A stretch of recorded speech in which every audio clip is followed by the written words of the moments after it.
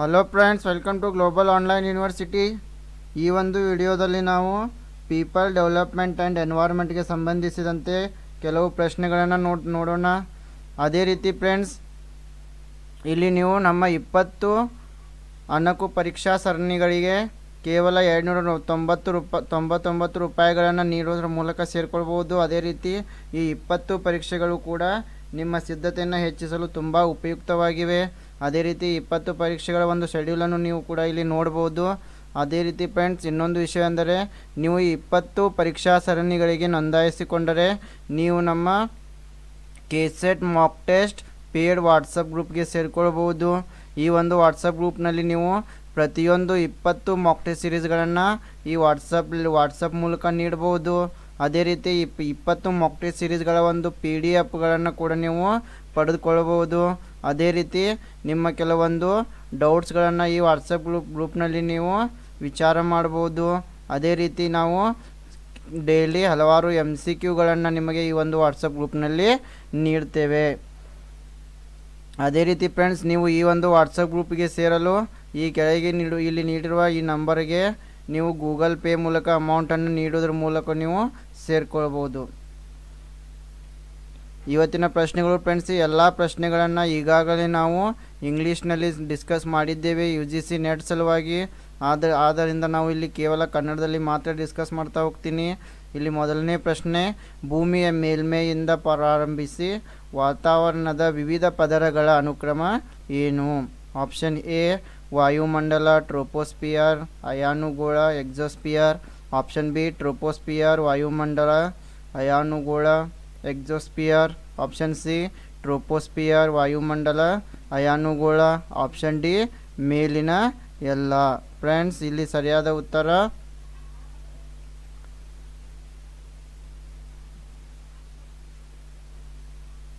Option B, troposphere, ವಾಯುಮಂಡಲ, ಅಯಾನುಗೋಳ, exosphere. ಇದು ಸರಿಯಾದ ಉತ್ತರ. ಆದ್ದರಿಂದ ಆಪ್ಷನ್ ಬಿ ಸರಿಯಾದ ಉತ್ತರ. ಫ್ರೆಂಡ್ಸ್ ನಿಮಗೆಲ್ಲ ಗೊತ್ತಿರುವಂತೆ ಈ ಒಂದು ವಾಯುಮಂಡಲದ ವಿವಿಧ ಗೋಳಗಳ ಒಂದು ಪಿಕ್ಚರನ್ನು ನೀವು ಇಲ್ಲಿ ನೋಡಬಹುದು. ಮೊದಲಿಗೆ ಬರೋದು ಟ್ರೋಪೋಸ್ಪಿಯರ್. ಇದು ಹದಿನೆಂಟು ಕಿಲೋಮೀಟರ್ಗಳ ತನಕ ಇರ್ತದೆ. ಮತ್ತು ಇಲ್ಲಿ ಈ ಒಂದು ವಲಯದಲ್ಲಿ ಟೆಂಪರೇಚರ್ ಡಿಕ್ರೀಸಸ್ ವಿತ್ ಹೈಟ್ ಎತ್ತರಕ್ಕೆ ಹೋದಂತೆ ಟೆಂಪ್ರೇಚರ್ ಕಡಿಮೆಯಾಗ್ತಾ ಹೋಗ್ತದೆ. ಅದೇ ರೀತಿ ಎರಡನೇ ಗೋಳ ಸ್ಟ್ರೆಟೋಸ್ಪಿಯರ್ ಇಲ್ಲಿ ನಾವು ಓಝೋನ್ ಲೇಯರನ್ನು ಕೂಡ ನೋಡ್ತೀವಿ. ಈ ಒಂದು ಸ್ಟ್ರಾಟೋಸ್ಪಿಯರ್ ಐವತ್ತು ಕಿಲೋಮೀಟರ್ಗಳ ತನಕ ಇರ್ತದೆ. ಈ ಒಂದು ಸ್ಟ್ರಾಟೋಸ್ಪಿಯರ್ನಲ್ಲಿ ಟೆಂಪ್ರೇಚರ್ ಇನ್ಕ್ರೀಸಸ್ ವಿತ್ ಹೈಟ್ ಎತ್ತರಕ್ಕೆ ಹೋದಂತೆ ಟೆಂಪ್ರೇಚರ್ ಹೆಚ್ಚಾಗ್ತಾ ಹೋಗ್ತದೆ. ಅದೇ ರೀತಿ ನಂತರ ಬರಬೇ ಬರೋದು ಮೆಜೋಸ್ಪಿಯರ್ ರೇಡಿಯೋಸ್ ಮೆಟ್ರೋಸನ್ನು ಇಲ್ಲಿ ನಾವು ನೋಡ್ಬೋದು. ಇದು ಎಂಬತ್ತು ಕಿಲೋಮೀಟರ್ಗಳ ತನಕ ಇದ್ದು, ಇಲ್ಲಿ ಕೂಡ ಎತ್ತರಕ್ಕೆ ಹೋದಂತೆ ಟೆಂಪ್ರೇಚರ್ ಕಡಿಮೆ ಆಗ್ತಾ ಹೋಗ್ತದೆ. ಅದೇ ರೀತಿ ನೆಕ್ಸ್ಟ್ ಅಯೋನೋಸ್ಪಿಯರ್ ಇದು ನಾಲ್ಕುನೂರು ಕಿಲೋಮೀಟರ್ಗಳ ತನಕ ಇರ್ತದೆ. ಈ ಒಂದು ವಲಯದಲ್ಲಿ ಟೆಂಪ್ರೇಚರ್ ಇನ್ಕ್ರೀಸಸ್ ವಿತ್ ಹೈಟ್ ಎತ್ತರಕ್ಕೆ ಹೋದಂತೆ ಟೆಂಪ್ರೇಚರ್ ಹೆಚ್ಚಾಗ್ತಾ ಹೋಗ್ತದೆ. ಅದೇ ರೀತಿ ಕೊನೆಯ ಒಂದು ವಲಯ ಅದು ಎಕ್ಸೋಸ್ಪಿಯರ್ ಫ್ರೆಂಡ್ಸ್ ಎಲ್ಲ ವಿಷಯಗಳನ್ನ ನೀವು ನೆನಪಿಡಬೇಕು. ಇಲ್ಲಿಂದ ಕೆ ಸೆಟ್ ಎಕ್ಸಾಮಿನೇಷನಲ್ಲಿ ಪ್ರಶ್ನೆ ಬಂದೇ ಬರ್ತವೆ. ಅದೇ ರೀತಿ ಮುಂದಿನ ಪ್ರಶ್ನೆ. ರಾಮ್ಸರ್ ಸಮಾವೇಶ ಯಾವ ಸಂರಕ್ಷಣೆಗೆ ಸಂಬಂಧಿಸಿದೆ? ಆಪ್ಷನ್ ಎ ಹುಲಿ. ಆಪ್ಷನ್ ಬಿ ಆನೆಗಳು. ಆಪ್ಷನ್ ಸಿ ಬೆಳೆ ಅನುವಂಶಿಕ ವೈವಿಧ್ಯತೆ.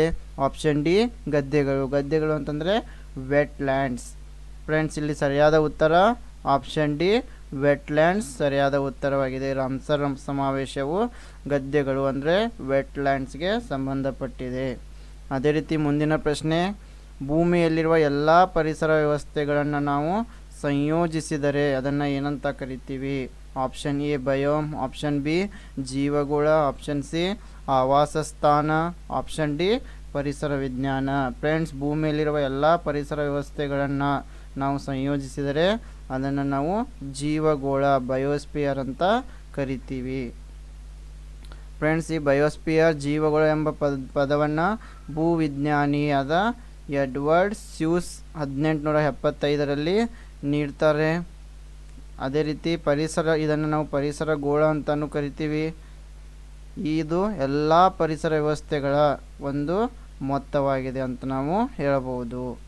ಅದೇ ರೀತಿ ಇದಕ್ಕೆ ನಾವು ಸ್ವಯಂ ನಿಯಂತ್ರಣ ವ್ಯವಸ್ಥೆ ಎಂದು ಕೂಡ ಕರಿತೀವಿ. ನೆನಪಿನಲ್ಲಿಡಬೇಕು ಎಲ್ಲ ವಿಷಯವನ್ನು. ಅದೇ ರೀತಿ ಮುಂದಿನ ಪ್ರಶ್ನೆ, ಈ ಕೆಳಗಿನ ಯಾವ ರೀತಿಯ ಮಾಲಿನ್ಯದೊಂದಿಗೆ ಗ್ರೀನ್ ಮಪ್ಲರ್ ಎಂಬ ಪದವು ಸಂಬಂಧಿಸಿದೆ? ಆಪ್ಷನ್ ಎ, ನೀರಿನ ಮಾಲಿನ್ಯ, ಆಪ್ಷನ್ ಬಿ, ವಾಯು ಮಾಲಿನ್ಯ, ಆಪ್ಷನ್ ಸಿ, ಪರಮಾಣು ಮಾಲಿನ್ಯ, ಆಪ್ಷನ್ ಡಿ, ಶಬ್ದ ಮಾಲಿನ್ಯ. ಫ್ರೆಂಡ್ಸ್, ಇಲ್ಲಿ ಸರಿಯಾದ ಉತ್ತರ ಆಪ್ಷನ್ ಡಿ, ಶಬ್ದ ಮಾಲಿನ್ಯ.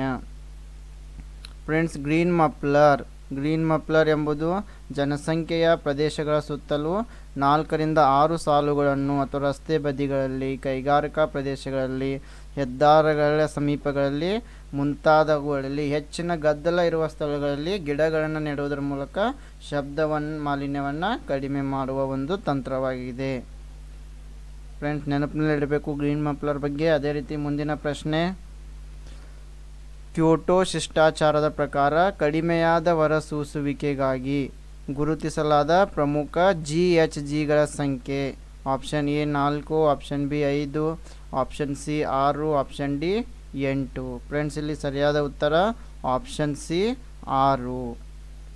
ಅದೇ ರೀತಿ ಮುಂದಿನ ಪ್ರಶ್ನೆ. ಬಯೋಮೆಡಿಕಲ್ ತ್ಯಾಜ್ಯಕ್ಕೆ ಭಾರತ್, ಭಾರತದಲ್ಲಿ ಸಂಬಂಧಿಸಿದ ನಿಯಮಗಳನ್ನು ಡ್ಯಾಶ್ ಅಡಿಯಲ್ಲಿ ತಿಳಿಸಲಾಗಿದೆ. ಆಪ್ಷನ್ ಎ, ಪರಿಸರ ರಕ್ಷಣಾ ಕಾಯ್ದೆ ಹತ್ತೊಂಬತ್ತು ನೂರ ಎಂಬತ್ತು ಆಪ್ಷನ್ ಬಿ ಹತ್ತೊಂಬತ್ತು ನೂರ ಎಂಬತ್ತ್ಮೂರು ಆಪ್ಷನ್ ಸಿ ಹತ್ತೊಂಬತ್ತು ನೂರ ಎಂಬತ್ತಾರು ಆಪ್ಷನ್ ಡಿ ಹತ್ತೊಂಬತ್ತು ನೂರ ಎಂಬತ್ತೆಂಟು ಫ್ರೆಂಡ್ಸ್, ಇಲ್ಲಿ ಸರಿಯಾದ ಉತ್ತರ ಆಪ್ಷನ್ ಸಿ, ಪರೀಕ್ಷ್, ಪರಿಸರ ರಕ್ಷಣಾ ಕಾಯ್ದೆ ಹತ್ತೊಂಬತ್ತು ನೂರ ಎಂಬತ್ತಾರು ಫ್ರೆಂಡ್ಸ್, ಈ ಒಂದು ಕಾಯ್ದೆಯ ಪ್ರಕಾರ ಇದು ಭಾರತದ ಒಂದು ಸಂಸತ್ತಿನ ಕಾಯ್ದೆಯಾಗಿದೆ. ಭೋಪಾಲ್ ದುರಂತದ ನಂತರದ ಹಿನ್ನೆ ಭೋಪಾಲ್ ದುರಂತದ ಹಿನ್ನೆಲೆಯಲ್ಲಿ ಈ ಕಾಯ್ದೆಯನ್ನು ಜಾರಿಗೆ ತರಲಾಯಿತು. ಅದೇ ರೀತಿ ಪರಿಸರ ರಕ್ಷಣಾ ಕಾಯ್ದೆ ಹತ್ತೊಂಬತ್ತು ನೂರ ಎಂಬತ್ತಾರು ಇದು ಎರಡು ನೂರ ಐವತ್ತ್ಮೂರನೇ ವಿಧಿ ಅಡಿಯಲ್ಲಿ ಬರ್ತದೆ.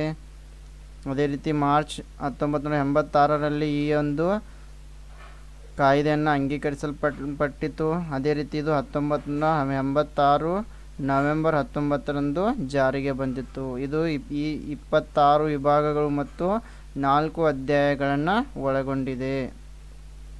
ಅದೇ ರೀತಿ ಫ್ರೆಂಡ್ಸ್, ಮುಂದಿನ ಪ್ರಶ್ನೆ. ಸೂರ್ಯನಿಂದ ಪಡೆಯದ ಶಕ್ತಿ. ಆಪ್ಷನ್ ಎ, ಜೀವರಾಶಿ. ಆಪ್ಷನ್ ಬಿ, ಪಳೆಯುಳಿಕೆ ಇಂಧನಗಳು. ಆಪ್ಷನ್ ಸಿ, ಪರಮಾಣು ಶಕ್ತಿ. ಆಪ್ಷನ್ ಡಿ, ಭೂಶಾಖದ ಶಕ್ತಿ.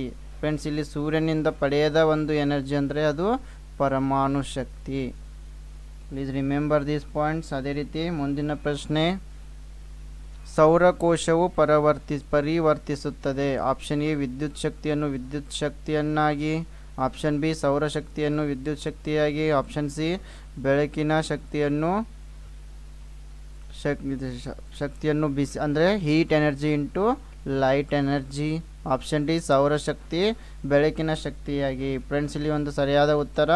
ಆಪ್ಷನ್ ಬಿ ಸೌರಶಕ್ತಿಯನ್ನು ವಿದ್ಯುತ್ ಶಕ್ತಿಯನ್ನಾಗಿ ಸೌರಕೋಶವು ಪರಿವರ್ತಿಸುತ್ತದೆ. ಅದೇ ರೀತಿ ಮುಂದಿನ ಪ್ರಶ್ನೆ. ಫ್ರೆಂಡ್ಸ್, ಸೌರ ಸೌರಕೋಶ ಇದು ಬೆಳಕಿ ಬೆಳಕಿನ ಶಕ್ತಿಯನ್ನು ನೇರವಾಗಿ ವಿದ್ಯುತ್ ಶಕ್ತಿಯನ್ನಾಗಿ ಪರಿವರ್ತಿಸುತ್ತದೆ. ಫ್ರೆಂಡ್ಸ್, ಮುಂದಿನ ಪ್ರಶ್ನೆ. ನೀರಿನ ಚಕ್ರದ ಮೂರು ಅಂಶಗಳು ಯಾವುವು? ಆಪ್ಷನ್ ಎ, ಆವಿಯಾಗುವಿಕೆ ಉತ್ಪನ್ನನ ಘನೀಕರಣ. ಆಪ್ಷನ್ ಬಿ ಆಮಿಯಾಗುವಿಕೆ ಘನೀಕರಣ, ಮಳೆ. ಆಪ್ಷನ್ ಸಿ, ಮಳೆ, ಹಿಮ, ಹಿಮಪಾತ. ಆಪ್ಷನ್ ಡಿ, ದ್ರವ ಘನ ಅನಿಲ. ಫ್ರೆಂಡ್ಸ್, ಇಲ್ಲಿ ಸರಿಯಾದ ಉತ್ತರ. ಆಪ್ಷನ್ ಬಿ ಆಮಿಯಾಗುವಿಕೆ ಘನೀಕರಣ, ಮಳೆ. Evaporation condensation and precipitation friends, ಈ ಚಕ್ರವು ಮುಖ್ಯ ಭಾಗಗಳೆಂದು ಯಾವುವು ಆವಿಯಾಗುವಿಕೆ, ಘನೀಕರಣ, ಮಳೆ ಸಂಗ್ರಹ. ಈ ಒಂದು ಪಿಕ್ಚರ್ನಲ್ಲಿ ನೀವು ನೋಡಬಹುದು ಇಲ್ಲಿ ಇವ್ಯಾಪ್ರೋಷನ್ ಅಂದರೆ ಸಮುದ್ರದ ನೀರು ಆವಿಯಾಗುವುದು. ಅದೇ ರೀತಿ ಕಂಡೆನ್ಸೇಷನ್ ಅಂತಂದರೆ ಆವಿಯಾದ ನೀರು ಮೋಡಗಳಾಗಿ ಪರಿವರ್ತನೆಯನ್ನು ಹೊಂದುವುದು. ಅದೇ ರೀತಿ ಪ್ರೆಸಿಪಿಟೇಷನ್ ಅಂತಂದರೆ ಮೋಡಗಳು ಮಳೆಯಾಗಿ ಮತ್ತೆ ಭೂಮಿ ಮೇಲೆ ಸುರಿಯುವುದು, ಅದೇ ರೀತಿ ಮಳೆಯಿಂದ ಸುರಿದ ನೀರು ಸಮುದ್ರ ಸಾಗರಗಳನ್ನು ಸೇರುವುದು. ಅದೇ ರೀತಿ ಫ್ರೆಂಡ್ಸ್, ಮುಂದಿನ ಪ್ರಶ್ನೆ. ಗ್ರೇಟ್ ಇಂಡಿಯನ್ ಬಸ್ಟರ್ಡ್ ಹಕ್ಕಿ ಕಂಡುಬರುತ್ತದೆ. ಆಪ್ಷನ್ ಎ, ರಾಜಸ್ಥಾನದ ತಾರ್ ಮರುಭೂಮಿ ಆಪ್ಷನ್ ಬಿ, ಭಾರತದ ಕರಾವಳಿ ಪ್ರದೇಶಗಳು. ಆಪ್ಷನ್ ಸಿ ಮಲ್ಬಾರ್, ಕರಾವಳಿ, ಆಪ್ಷನ್ ಡಿ, ಡೆಲ್ಟಾ ಪ್ರದೇಶಗಳು. ಫ್ರೆಂಡ್ಸ್, ಗ್ರೇಟ್ ಇಂಡಿಯನ್ ಬಸ್ಟರ್ಡ್ ಅಕ್ಕಿ ಎಲ್ಲಿ ಕಂಡುಬರ್ತದೆ? ಇದು ರಾಜಸ್ಥಾನದ ತಾರ್ ಮರುಭೂಮಿಯಲ್ಲಿ ಕಂಡುಬರ್ತದೆ. ಆದ್ದರಿಂದ ಆಪ್ಷನ್ ಎ ಸರಿಯಾದ ಉತ್ತರವಾಗಿದೆ. ಅದೇ ರೀತಿ ಫ್ರೆಂಡ್ಸ್, ಮುಂದಿನ ಪ್ರಶ್ನೆ. ಅದೇ ಪ್ರಿಂಟ್ ಗ್ರೇಟ್ ಇಂಡಿಯನ್ ಬಸ್ಟರ್ಡ್ ಇದು ಬಸ್ಟರ್ಡ್ ಕುಟುಂಬದ ಒಂದು ದೊಡ್ಡ ಹಕ್ಕಿಯಾಗಿದೆ ಅಂತ ಹೇಳಬಹುದು. ಇದು ವಿಶ್ವದ ಅತಿ ಹೆಚ್ಚು ಹಾರುವ ಪಕ್ಷಿಗಳಲ್ಲಿ ಒಂದಾಗಿದೆ. ಅದೇ ರೀತಿ ಇದು ರಾಜಸ್ಥಾನದ ತಾರ್ ಮರುಭೂಮಿಯಲ್ಲಿ ಹೆಚ್ಚಾಗಿ ಕಂಡುಬರ್ತದೆ. ಅದೇ ರೀತಿ ಫ್ರೆಂಡ್ಸ್ ಮುಂದಿನ ಪ್ರಶ್ನೆ. Friends thank you very much thank you for watching this video friends ಇದೇ ರೀತಿ ನೀವು ನಮ್ಮ ಕ ಕೆಸೆಟ್ನ ಮಾಕ್ಟೆ ಸಿರೀಸ್ಗಳಿಗಾಗಿ ದಾಖಲಾಗಿ ನಮ್ಮ ವಾಟ್ಸಪ್ ಪ್ರೇಡ್ ಗ್ರೂಪನ್ನು ಸೇರಿಕೊಳ್ಬೇಕಂತ ಕೇಳ್ಕೊಳ್ತಿದ್ದೀನಿ. ಅದೇ ರೀತಿ ನಿಮಗೆ ಯು ಜಿ ಸಿ ನೆಟ್ ಸಲುವಾಗಿ ಯು ಜಿ ಸಿ ನೆಟ್ ಮತ್ತು ಎಂ ಎಸ್ ಸೆಟ್ ಸಲುವಾಗಿ ಕೂಡ ನಾವು ಇಂಗ್ಲೀಷ್ ಹಾಗೂ ಮರಾಠಿನಲ್ಲಿ ಮಾಕ್ಟೆ ಸಿರೀಸ್ಗಳನ್ನು ನೀಡ್ತಾ ಇದ್ದೀವಿ. ಆ ಮೊಕ್ಟಿ ಸಿರೀಸ್ಗಳಿಗೂ ಕೂಡ ನೀವು ಬೇಕಾದರೆ ಜಾಯ್ನ್ ಆಗ್ಬೋದು. Thank you